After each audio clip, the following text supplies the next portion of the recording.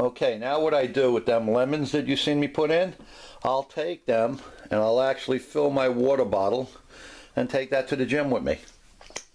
Another trick I do with lemons is as you notice I freeze them. I have them in my freezer. And then I grate them. Okay? And I'll grate that lemon like it was grated cheese over my meals. I took my one cup of broccoli. I took my bottle of uh, lemon and water. I cook the broccoli